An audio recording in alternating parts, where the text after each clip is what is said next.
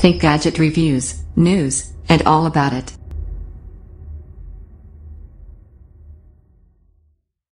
Jolla Review. What we want is something a bit risky. Something to take a gamble on. An indie, alternate OS phone with heart. Something like the 4.5 in Jolla, the very first smartphone from the company of the same name. As with its cohorts in 2014's new wave of slightly bonkers, exotic phones, the two-screened YotaPhone and the CyanogenMod-friendly Oppo N1, it has a fresh OS, is cheaper than regular high-end handsets and still runs in relatively tight-knit circles. You won't see a line of heads bent over Jollas on the 827 to Paddington anytime soon. That said, there's only a small percentage of people we'd recommend the Jolla to. Why? Because if glowing dots in swipeable email apps don't get you hot under the collar, there are many better specs more straightforward and stable smartphones out there for the money. So what does Jolla do differently? And why do we love it despite its many, obvious limitations? Thumb, meet Sailfish. Android is out. This Linux-based smartphone runs Jolla's own Sailfish OS, a gesture-based beta with a debt to Nokia's, and Intel's, doomed MeeGo OS. Not surprising considering Jolla was created by ex-Nokia employees, a big chunk of the internet thinks the Jolla is an unofficial Nokia N9 resurrection. Sailfish isn't an OS that you'll lust after having spent 5 minutes with, coming from Android or iPhone, the swipes and shortcuts feel unintuitive and it's easy to get lost. There are no physical or capacitive buttons on the front of the Jolla, either. But spend a week with it and it's easy to come around to sailfish. It's far from perfect but the simple idea of letting your fingers and thumbs stay on the touchscreen the whole time, rather than moving to press buttons, makes for a speedy, non-stop experience. So how does it work? A basic notifications list is a swipe up from the bottom of the screen, fairly standard. But swiping left from the right of the screen minimizes the app you're in and takes you to a home screen of open apps, like BB10's active frames. Only 9 are shown on the one home view screen, but as you hold down and delete, other open apps take their place. Check out our full Jolla gallery here. Pulling the screen down in most Jolla apps brings up a list of options for things such as changing settings, sharing, search and sending messages or emails, this is the getting things done gesture. And finally glowing dots in the top left hand corner show you which page you're on like tech Tinkerbell's guiding the way. Swipe left or right for forwards and backwards. For examples, when viewing a photo you can swipe right once to return to photos and right again to the main gallery menu. Learning the system is an investment, but use the Jolla for 3 to 4 days and your thumb will take on a life of its own, racing around sailfish with fluid efficiency.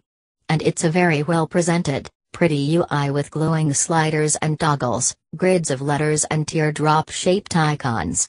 There are design flourishes everywhere, we set the time more than once because we enjoyed it so much.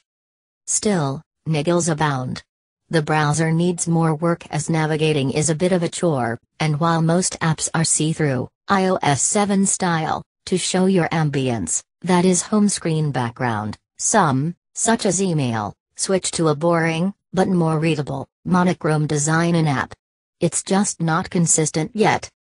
Sailfish does have the basics covered, easy to use people, messaging, email and media, music, apps, plus here maps, which, like calculator, notes and other essentials, has to be downloaded from the Jolla store. Nothing is pushed on users, which is largely great, but apps are also a bit of a mess overall. Jolla apps with a side of Android. There's no getting round it, it's slim pickings on the Jolla App Store. With about 200 or so to choose from, if you want a battery or data tracker you're in luck. If you want a casually addictive side scroller, not so much. The store itself is laid out to help you see what other Jolla users are downloading, but a quick swipe brings up more traditional categories.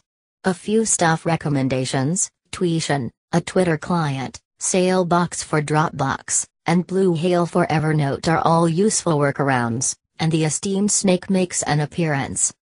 It's not enough, though, and Jolla knows it, which is why the smartphone runs Android apps, too.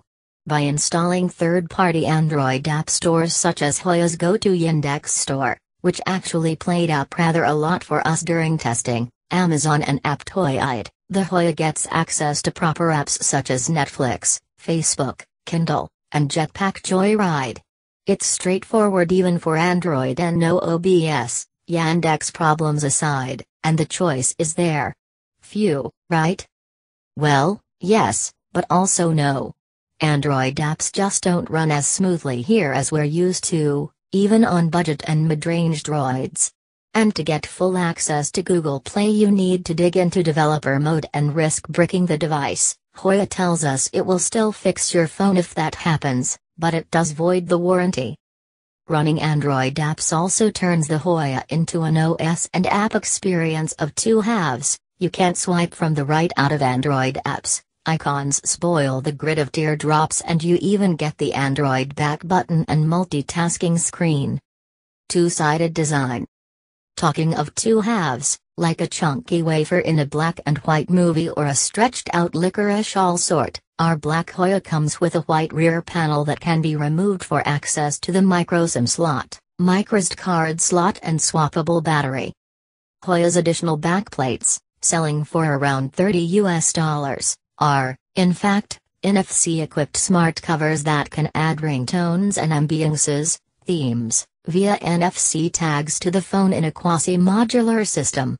We haven't tried out the other half accessories yet but Jolla's released an SDK to 3D print cases with instructions of where to place the NFC tags. It's a fantastic idea but one without a killer use just yet, we want to see a work mode other half, guest mode other half or even in the future a wireless charging other half.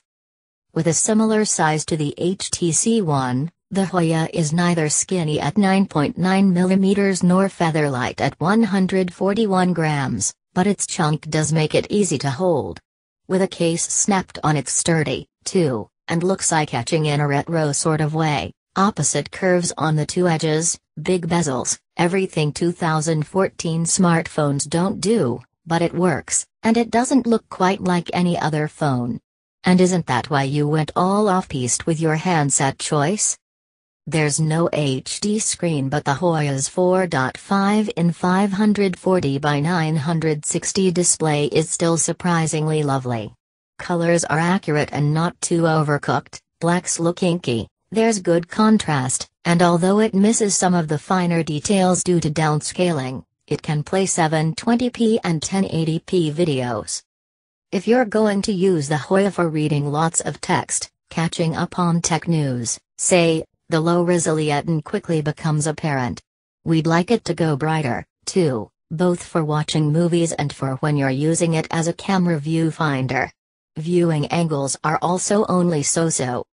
That might be fine on a bargain basement blower, but this is a 330 pounds phone, which means Jolla's simply a bit behind in the Pixel wars. Having said that it is responsive, Sailfish itself looks great and Gorilla Glass 2 gives it good protection. So-so performance. It's not just pixels that are missing, on paper the Jolla doesn't look too powerful either, with an aging dual-core 1.4 GHz Snapdragon processor and 1 GB of RAM. Day-to-day it's respectable, and playing the best of the Amazon App Store's games doesn't fluster it, but as we mentioned earlier, Android apps strip it up and the Jolla can get stuck on pull-down options. Downloads of apps and files from Dropbox are fairly nippy, but we did have some connection problems to both Wi-Fi networks and a portable hotspot. And browsing isn't as fast as we're used to, with the Jolla scoring a mediocre 1583.1 ms on the SunSpider 1.0.2 benchmark. It's not all bad news, the Jolla supports 4G, not always a given at this price, and has a microSD card slot for expanding storage by up to 64 gigabytes. It might be a little slow but in other ways it's great value.